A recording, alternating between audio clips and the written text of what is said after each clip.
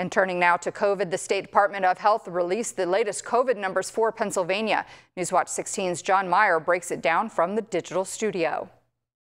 We got the latest numbers from the Pennsylvania Department of Health, and when we're taking a look at the COVID situation in Pennsylvania, the cases have risen a bit over the past week. It's hard to tell on the graph that tracks trend from the past year because we were so high last January. But there's a slight uptick in the COVID cases. But remember, those are the official cases. So there's a lot more people testing at home. You probably know people that have tested positive recently. So because there's so much COVID that we know is out there, the key is the severity of it. So we are seeing a bit of an uptick in COVID related hospitalizations.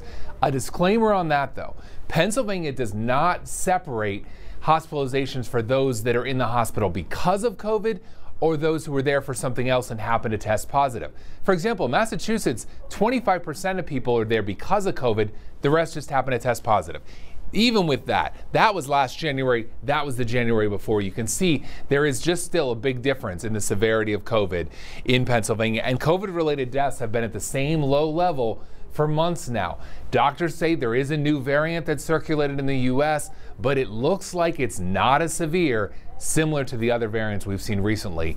It's out there just not people getting as sick. I do want to show you one other thing that I took from the Pennsylvania Department of Health website. This is flu cases in Pennsylvania. This is showing recent years, the graph of the amount of flu.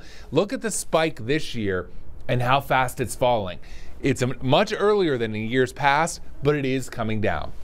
We all know there's been a lot of sickness out there, similar symptoms, COVID, flu, other viruses. It's out there. It, it does look like the flu's starting to come down. At least that's one promising sign. We'll keep an eye on all of it for you. Jon Meyer, Newswatch 16 in the digital studio.